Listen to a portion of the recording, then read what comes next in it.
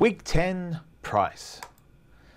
Now, price as a marketing concept is a combination of the financial costs and the non financial costs to bring together the concept of the total price. On the financial cost side, the most obvious one that we're familiar with is the acquisition cost. This is what it this is the payment you make for the exchange to buy the product. What we also have though is we have costs financial costs associated with the use of the product. And these are ongoing monthly subscription fees, these are service fees, additional charges, or consumables required to make the product work. We also have a couple of other costs, and that is the disposal cost, and this is where the consumption of a product incurs a charge fee or other financial cost for getting rid of the used product. And we have the search costs, which is where actually finding the product in the first place comes with a either a price tag, either there's a search premium, or it's simply the amount of effort that you've had to put in before you acquire the product. On the other side, the non-financial costs.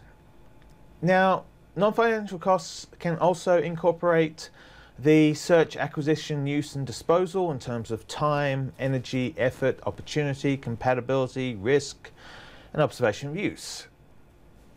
To break each of these down, a non-financial cost of time is the amount of literal time that you're going to need to use a product. If you are looking at a co-creation of value scenario, how many minutes into the use of the product will you be before the product is being able to be co-created at a satisfactory level? If you're looking at, say, the purchase of a book, how long will it take to read? If you're looking at the purchase of a video game, how long will it take to play? What's the replayability like? If you're looking at a live sports event, how much time does it cost to go to the event, including travel time there, travel time afterwards, queuing time? Similarly, energy. What's the actual drain, physical drain on your energy reserves to use the product? This can be emotional energy, this can be physical energy. Similarly, effort. How easy is it What's the trade-off between use, effort expended and return? You go to the gym, the gym costs you a service fee. There's a financial cost of training. Then there's the time required to train. Then there's the energy you expend in the process of training. And then there's the effort you expend in the process of doing the exercises. So energy and effort are two separate things. Energy is the overall drain on your physical reserves and mental reserves. Effort is the sort of the spike point, the peak activity. There's also the opportunity costs. For every action that we undertake, there are alternative actions we could have done. In recording this video and in watching this video, there were opportunity costs to both. There are opportunity costs to you now in watching this video, but there may also be opportunity benefits. This may be the financial, non-financial cheapest way of doing the subject for you. This may be the optimum path. There's also, when we start thinking about the product itself, the extent to which it's compatible with your existing lifestyle and the changes that would be required to make it compatible become costs. Some of these changes may or may not be beneficial. They may cause you different cause you problems, cause you challenges. So we raise in risk. The perception of risk and the actual risks themselves, whether they pay off or not, the perception of the danger, challenge, or likelihood of something going wrong become part of the overall cost. And lastly, the observation of the use. The cost Again, tied back to the Rogers five factors, compatibility is one. Observed use. What is the cost of actually undertaking the behavior in the presence of others? And it's this final one that's actually quite often overlooked is the idea of as marketers, we promote brands, and brands have in-group, out-group. If you are part of a, we usually promote our brands in terms of the value that the in-group provides. But if you are walking through the out-group camp, wearing your branded t-shirt, and I'm going to pick sport for a moment. If you are walking through the Canberra Raiders fan base wearing your South Sydney Rabbitohs jersey, you're going to really experience the non-financial costs of being observed using a rival brand. So there are certain things like the embarrassment or necessarily is the product loud, obnoxious, is the product, does the product draw attention to you? You want the benefits but you're not keen on the attention. These are some of the costs of observed use. Now, in terms of price, price is the overall sa the sacrifice the consumer or customer is willing to make in order to acquire the value that you are offering. It's quite often uh, covered under the idea of the exchange. So we think create, communicate, deliver, and exchange. Price is often seen as the exchange. Price is also part of the delivery, the offering that has value in terms of back to the firm, the delivery of value back to the firm, but also any delivery costs are part of the total financial price. So acquisition costs can include delivery charges. Which brings us to the total price concept. Again, financial price plus non-financial price. The assumed cost of consumption and use. And then the audience's, your target audience's perception is based on the total price concept. So there's a couple of marketing considerations that we need to address. First of all, price is obviously relative to value. The greater the value, the greater the price you can expect to be able to charge. But at the same time, value is subjective, price is subjective, you may find that the price itself can be a mechanism to communicate. It can be of value in and of itself. So many customers have a reference price. All of us tend to have a sort of sense of what something's worth. When you, we look at a product, we look at the price tag and we go either, yes, I'll have it because it's within my pricing and my budget and my preferred options, look at it and go, I like it, but not at that price. The value is not enough versus the price that you're being expected to pay. Or, no way, that's way too expensive. It's beyond your reference price tolerance. So even little things like the zone of tolerance, the perception expectation, zone of tolerance will apply as a similar mindset, a similar facet of our thinking of we have a reference price, which is our expectation of what something should cost. And then we have the actual price, which is what it does cost in the store. And then we look at the two, we make the comparison. If the price delights us because it's below our reference, but still doesn't make us feel that the value of the object has been diminished, then we are likely to see it as a bargain and yeah, sets off our internal psychological rewards and we're more likely to consume the product. Also, in terms of price, price sitting inside the offering that has value, an expensive object that is known to be expensive communicates a social message about the wealth and financial value of the individual. So they will see a benefit and a value in consuming an expensive product if it's a social signal. And this is why we have luxury brands. This is why we have high-end luxury boutiques. This is why we have bragging rights as a feature we can sell. Why exclusivity, exclusivity by price, or there's only 10 in the world of these objects, becomes a viable and valuable way of engaging key target markets. Now there's also a subset. There's a level in here, um, a sort of super consumer level, where you can sell prestige price within certain categories of fast moving consumer goods. So you can have a luxury brand, prestige priced ice cream. You know, 500 mils or 750 mils of ice cream where for five liters of the stuff you pay you could pay half third quarter of the price you can have a perceived luxury product a super expensive ice cream because it can then be used as a social signal someone can buy this for themselves to treat themselves and go well, I wouldn't normally spend $10 on an ice cream, but I've had that sort of day where purchase, I'm worth it. So we can use a lot of, we can use psychological value factors in setting our prices. We can set a price so that the paying of that price is part of the co-creation of value for the individual.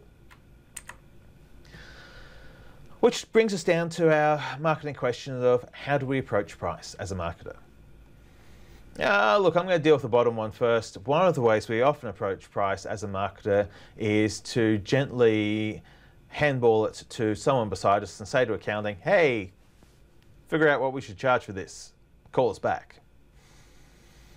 I don't think that's a good use of marketing skill set. I think we should be in here on the strategy and the tactic.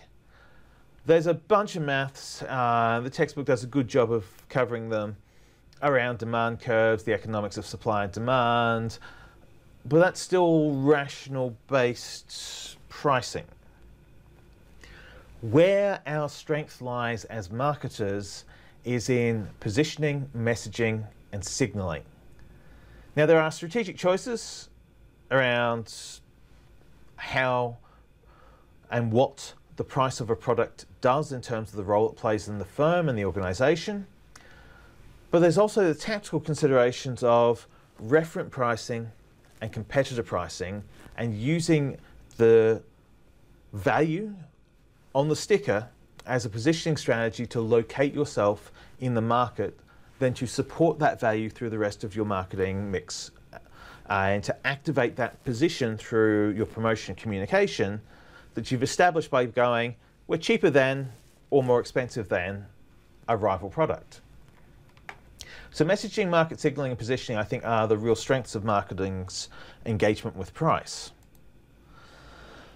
On the strategic front, it's a really interesting four-way dance here. On the one hand, if we are profit driven, as our marketing strategy, our strategic goal is profit, we need to bring in the maths, we need to bring in the total cost of the production of the product. We need to use a lot of the economics to make certain that we are charging enough per unit to cover not just the cost of the unit, but the cost of all the rest of the production, including all the marketing messages, including keeping the company alive with the light switched on and the internet connected, whilst we're selling our stockpile of goods. So profit orientation requires a lot of calculations. Sales orientation is a little dangerous when we start getting into price-based sales. Uh, we start moving away from really thinking about what's the what's the value of the product to the market, and are we teaching the market to, to devalue our objects by getting them to wait for sales? In the middle is a positioning strategy. This is the idea of the competitor-based positioning where each time we are setting our price at roughly the same as our competitor, but we have got our per unit costs below our competitor's costs, and therefore on a one-to-one, we sell exactly the same as our nearest rival, we will make more money than they will. This is super dangerous as a strategy again because it's moving away from thinking what does the price do as a signal? What is the role of the price as a means to position? What it can do though, it also can lead to this idea that if we can produce our product for cheaper than our competitor does, then we could offer it for cheaper on the assumption that cheaper means more sales. That doesn't always work. One of the things, one of the super effective things in marketing is when we have a very cheap to produce product that is tied to a brand and a messaging strategy that means people want to pay a premium for our low cost to produce but high price to buy product. That's how you get good profit margins because there is an intangible social message attached to this object and that gives us the room to charge more. People are buying the value of association with the brand and they'll pay a premium for association for good brands. The final one is, I think, the marketer's strength, and that is perception-based pricing. But to do this, obviously we're going to need market research and we're going to need a positioning strategy. And our positioning strategy is going to need to help us understand the referent pricing points of our nearest competitive value offers. Attached to this as well, uh, since we've talked about new product development, let's talk briefly about new product pricing. This is an either or. You cannot have both strategies. You either have penetration pricing or you have price skimming. On the penetration pricing, you start with introductory discounts. You lower the price because you want to acquire the customer and the market share. The danger here is that you teach the market that your penetration price, your low entry price, is the appropriate reference price. It works well where you're bringing new product into a competitive environment where uh, early majority and late majority already have, already are consuming these products, so they've already set a reference price, so they know that, oh, look, it should be worth, you know, you see a product, oh, it should be worth about 10 bucks, so I pay about 10 bucks for that. Penetration pricing says early discounts or introductory discount, $8, you're like, that's 20%, yeah, okay, that, uh, it makes it worth my time to try it, and then you get access. Your product needs to then win on relative advantage because cost will not stay being an advantage. It suits second mover advantage. It suits people coming into an established market. Price skimming, on the other hand, is where you go in on a high premium and you're using your expensive introductory price as a means by which you're going to recoup the research and development costs and also appeal to the innovator and the early adopter. Innovators have a high tolerance for financial risk and they're reasonably wealthy and can take a hit. So if you introduce a new price at a price skimming approach and only a select group of people can afford it, the early adopter market is also very interested because now they can see a point of differentiation. They, if they can afford this, that sets them apart from their followers who may not be able to. Of course, once you've been in the market for a little while, particularly as a first mover, your first mover advantage, you'll suddenly find that there's a bunch of penetration pricing, Me Too clone knockoffs using second mover advantage on you to try and take your market share. But if you've come in first and you've priced properly, you should be able to take a good positioning strategy, establish a strong reference price, and turn profit on the products in terms of being able to recover your initial development costs and perhaps set up the requisite cash flow investment to be able to work on generations two, three, and four of the quite new to continuous products. On the tactical side, now we've mentioned a bit about positioning. I want to talk about the price for signaling and how that lets you drive price for positioning. Price can be used as a quality signal. So humans, by and large, like to retroactively decide uh, and make decisions that they remember making first, but really we made second. And one of the places we do that is on the perception of what something was worth if we paid a lot of money for it. So the more expensive an object is, the more likely we are to imbue it with the quality signal to say, I'm smart, I'm clever, I wouldn't pay money for rubbish. This is super expensive, it's got to be good, therefore I'm going to perceive it as good because it's expensive. You rationalize, you solve your cognitive dissonance by going, yep, $1,500 for a front row ticket to a concert. Yes, that was worthwhile because it was a life changing event. It was the best concert I've ever been to.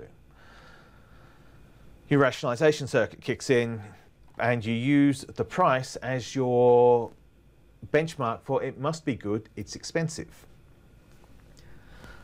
Now, what we can also do is we can set then, because quality and price are co-connected, we can do a demand approach where we set a high price to establish a social status.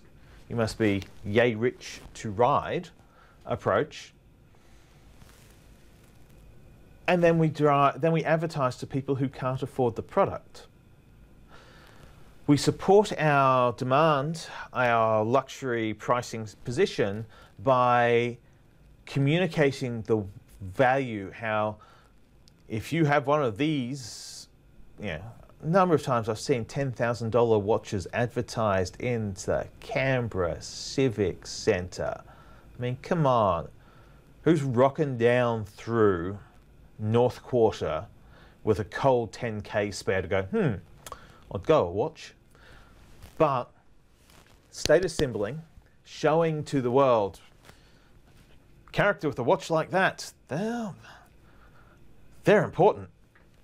So you're creating the demand through the social messaging, through the use of your promotion, and your price positioning is allowing you to limit the number of people who have this and therefore reach into that early majority, that early adopter market, and some of the top end of the early majority. So it's a social signaling tool.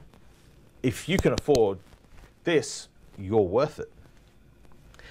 On the other end of the charts, we have, and this is where we sort of talk about exclusivity as well, um, just pick that up on the way through. You can artificially inflate the demand for something by artificially inflating its price one of a kind, $10,000. Someone with $10,000 can go, hmm, I'd be the only person with that. There isn't really a demand for it until you say it's scarce. And then once it's scarce, people are like, I want one, I need them.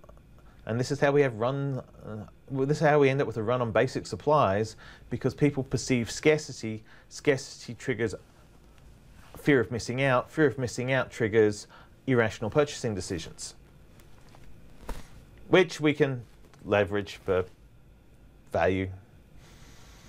If your ethics just didn't uh, ring then, get better ethics. Down the bottom of the price for signaling is convenience. Now, convenience-based pricing is where we openly signal cost says time. Proximity, so this is where convenience-based pricing, if you think about things like festivals, nightclubs, 24-hour trading, the 7-Eleven and the Night Owl, where yes, you could get it cheaper if you were prepared to travel further or wait longer. You're paying for the proximity. You're paying a premium price to access something at a convenient time, place, and space for you. So convenience pricing requires you to link in the distribution channels and make certain that you are putting your convenience premium at a place where you don't have a lot of competition or there's a reason why it's worth someone paying the above market rate because what you are adding is not just the value, this base value of the product, you're adding the value of here and now. Available here and now, worth that extra couple of dollars. So, that's your signaling side. The positioning side, based on all of this, is there are only three positions that you can occupy in price. Remembering the total price concept, you are either at the market, in which case you are your price is not a driver. Your price is defensive, you are then going to need to use your positioning strategy, the rest of the mix but you are within the realms of the acceptable. You can then go above the market or you can go below the market. Below the market, you are you position yourself as the cheaper alternative, the knockoff brand, the discount brand, the I can't believe it's not the real brand brand. And that's okay. That's a really good strategy because you're leveraging on some form of tactical advantage, some form of strategic advantage. You can produce the product faster, cheaper, quicker, and you produce it at lower cost so you can occupy the below market. So again, it's about your positioning strategy, it's about your uh, market strength, it's about understanding your internal strengths. Can we make it cheaper? Can we for every unit we sell, will we be able to turn a profit? Will we be able to turn a profit at this price we're offering? And if we're turning that profit at a price lower than our competitors, then we're going to pick up a certain type of customer and clientele who would like the benefits of the leading of the at market brand, but can't afford that slightly higher price, so they'll pick up our mostly acceptable product alternative. If you are in the lead, by the way, strategically, below market, one of the things about strategic below market is that your value offer also needs to be below market. If your value offer is at parity at market and you're selling below market, you're missing an opportunity. You could probably sell at market. If you are better than the more expensive brand, then you have definitely done something wrong if your relative advantage beats their relative advantage and you're cheaper than them, then you are missing an opportunity. At the above market positioning, this is premium. This is premium pricing. For every product that exists, there is a space in the positioning continuity for a more expensive version, the high fashion, elite, luxury, prestige, exclusive version, and a position below it, the knockoff, cheaper, the also ran. There's always a position around it. There's always a chance to go higher or go lower. And it's a, there because that reference brand, the brand sitting in the middle, provides the customer with a point of contrast that you can use in your positioning strategy. You can think, we're just like Qantas, only cheaper. Jetstar. We're not like Qantas, but only cheaper, Virgin Blue, or we're like Virgin Blue, but more expensive because we're better, Qantas. So everyone's got a positioning strategy they can take based on their pricing. It's up to us as marketers to capitalize on these opportunities. But one, again, one mistake that we often encounter is that people will try and price themselves below their competitor on the assumption that, oh, well, we, we meet them on all the value, on all objective value elements. If we're cheaper, we'll be perceived as better. Whilst missing the subjective quality signal opportunity, which was we offer almost identical outcomes, can we offer them a sense of superior quality by being more expensive? Can we go above? So never miss the chance to look at positioning yourself above a market price to attract the top end, the elite customer, the customer who's looking to differentiate themselves by spending that little bit more. They want the gold plated version. They want the Rolls Royce. The fact that Rolls Royce is the brand you recognize as the premium luxury version when they're an aircraft engine manufacturer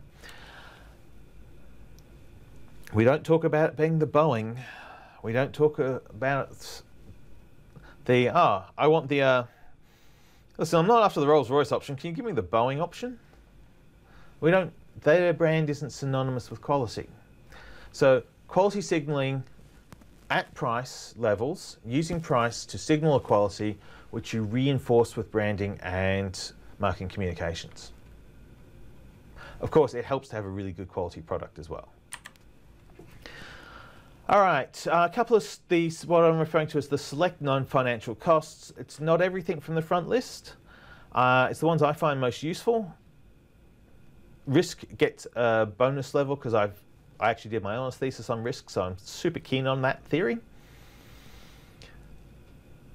The costs, the non-financial costs that you really want to factor in when you're trying to position a product, but also when you're analyzing a product, looking at it, saying, well, what's this product cost me? How long does it take to acquire, use, and then get benefit from the product? One of the things that makes a gym membership so expensive is that it's not just the $30 a month fee. It's not just the one hour in the aerobics class. It's the 30 minutes to get there. It's the hour to do the aerobics. It's the 30 minutes afterwards, the shower, the downtime, the additional levels of washing, the additional levels of protein powders, the preparation before, the preparation afterwards, and your one hour class suddenly starts getting longer and larger and bigger. So it's really important to have a true and accurate map of what time commitment someone needs and then look at whether you premium. And that's the other thing I want to point out here is price applies premium, at market and below market apply to all of the non-financial costs. So you can have a time premium you can have a very time expensive product, which then eliminates a section of the market who can't afford the time. And if you combine time premium and cash premium, expensive and slow, then you are signaling luxury. Who's got a day to spend on this and the money to pay for it? And the money to not need to be spending that day working to earn more money. So there's Premium pricing is always an option in all of this. Similarly, effort. Effort is going to be the psychological and the physiological expenditure. Premium effort price, below effort price, at market effort price. Does your value offer require people to put in more, exert more energy and more effort? That's a feature you can sell. A longer marathon, a harder gym program, a tougher video game, a more obtuse book, a worst to watch film, a terribly complicated TV series where it's all really, really complicated, nothing makes sense. Oh, wait, that's lost. And okay, just don't Game of Thrones it, all right? If don't change the effort level on the way through. Don't stuff with those elements. Another non-financial cost is uh, the cost between first acquisition of the product and your sense of the best value you're getting from the product. So the learning curve, the difficulty with which you go from beginner to satisfied you're getting your value. Energy, again, physically draining.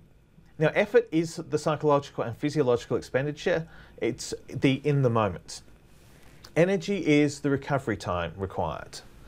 So going back to the gym example, one of the things about a gym is the membership, the energy requirement of a membership. If you're training once a week, low intensity gym workout, low effort, low time cost, but you're not seeing your learning curve, your gap between engagement and results is going to be quite wide.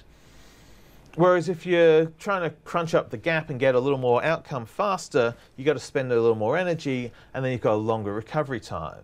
Put more effort in, expect more energy cost. A triathlon takes training to prepare for. It's not just, I'm going to spend $180 registering myself for a sporting event. I also need to spend all the time preparing for that sporting event and all the energy, all the effort, all the lifestyle factors.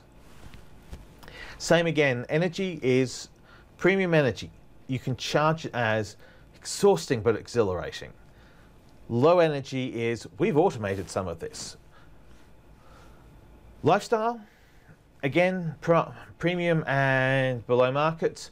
The extent to which a product integrates itself is the extent to which the costs associated with things like the observability and the compatibility and the relative other elements even the relative advantage.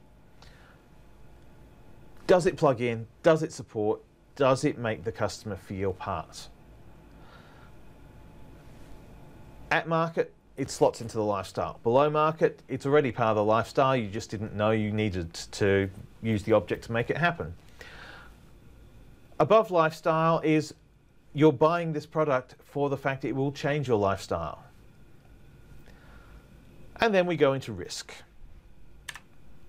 And risk is both feature and cost. So you should always look at the inherent risk of your product as the potential for your product to have a new value offer. So the five most common ones are financial, social, physical, uh, internal, psychological, and performance. Top of the list, financial. What is the risk of using the product? Is there a risk that it will cost you more than you expected? Gambling is the perfect financial risk product because the point of the exercise is to risk losing money and to lose money over an extended period of time in the pursuit of maybe winning more money back. The social loss, what's the risk of you taking a hit to your pride or your reputation as a result of the use, the observed use of this particular product? And every single one of us has one of those products in their list that if your mate knew you used it, you wouldn't be able to look them in the eyes. And for some people, those of us who unironically liked the Cats movie from 2019, it's not that one. Oh, the judgment that just came through from that. But also, social prestige loss is an in-group, out-group opportunity.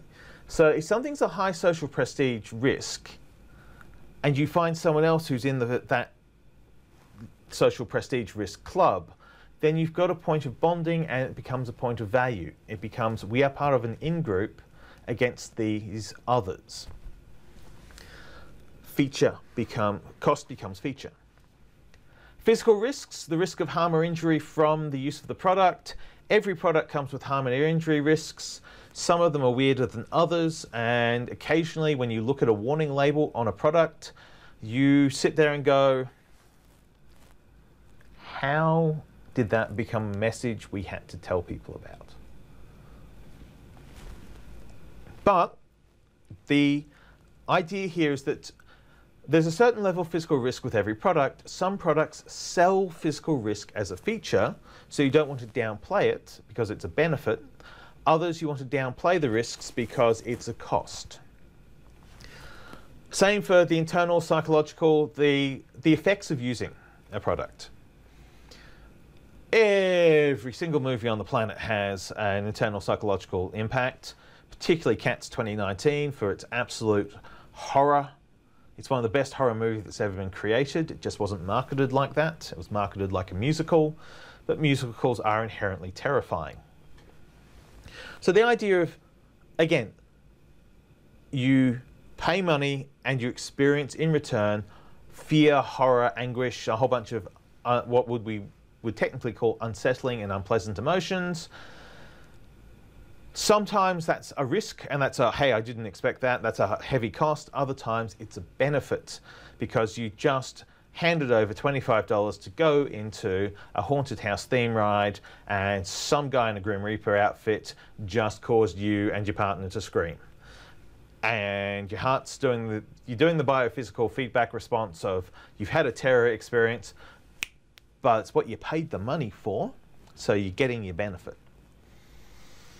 There's also that internal psychological cost of whatever the sensation is when you lose Super Smash Brothers or Mario Kart at that last second. Or when there's one hit point left on the enemy boss and you've just run out for the last time. Like it's been 12 goes and you just can't do it anymore. It's just like, nah, Finally, there's always performance risk. And this is that every product that has been purchased as an offering that has value has the risk of not providing value. That's harder to sell as a feature, so that's probably the one that's the closest to a straight cost. But even so, Something that fails, which then allows the consumer to co create a solution to the failure to get a better product, has benefits. So, the final thing on the consumer price perception to talk about is primary cost and secondary cost. Primary cost is the cost of acquisition, search, and we've mentioned those, but also shipping costs. Quite often, as marketers, we focus a lot on the financial price and we focus a lot on some of the really obvious search based costs that then we forget the last mile. And you just need to go shopping on Etsy to have that moment of going, looking at a particular product and going, I like that. That's, you know, $20 for a small little uh, pin small little metal object, and you're like, yep, yep, that's worth. I'm looking at going, yeah, I'd be happy to pay 20 bucks for that. And then the shipping is $30, and suddenly this total price is $50 American or $80 Australian. And you're looking at going, no, no, that's gone from within my reference price to that's premium. I don't have the money for that sort of thing. I'm not going to drop because the shipping cost tipped it out of the reference price category. So it's one of the things you've got to watch for and why marketing needs to be holistic. If you are going to do a total price concept and try and occupy a price position, then it has to be the total price including shipping. If you're not factoring that in, you're not doing your total price properly. Your secondary costs are consumables and ancillary upgrade, upgrades. So consumables are basically things like toner cartridges. You buy an Xbox, the Xbox is inherently useless until you buy a game for the Xbox. And now suddenly you've got $500 lump of useless for which you need to spend $70 tokens each time to make it useful. But then you also end up on the ancillary upgrades path where you start buying additional hardware because you bought one thing and then that sets off a, it triggers a needs analysis which sets off the next thing. And, you know, I'm going to say that I am as vulnerable to it as anyone because the computer that I'm recording this on shipped with a perfectly adequate keyboard and mouse. And then I bought myself the upgrade, a gaming keyboard, and then I bought myself the upgrade gaming keyboard because I realized after using the first keyboard for a while that it was good, but there was better, and I wanted better. And it's an ancillary upgrade. It's as a result of consuming one product, realizing that I want there to be a better experience on the next. So it becomes a sequence of costs. Uh, it's the IKEA trap. You go to IKEA to buy a bookshelf, and then a few weeks later, you're back in IKEA buying a dozen other things because once you brought that new object in, it changed your perception, changed your tolerance for the rest of the objects in the room. So, to recap, price. It's one of our, look, as far as an area of marketing where I think that there is an inordinate amount of fun to be had using consumer behavior principles, using what we know about our ability as humans to process price as a signal of quality. I also think that this is an area where you can genuinely do good and you can do create benefit, psychological benefit for the customer if you understand their needs around price. Some people need premium. Some people need to feel the hunt, the thrill of the hunt of, I got the bargain. Knowing that, knowing that about your market and delivering that to them is creating value for them. It's giving them a psychological benefit. It's giving them something that they value and quite often, it can improve the profit that you can make on a product by respecting the decision frame of your customer.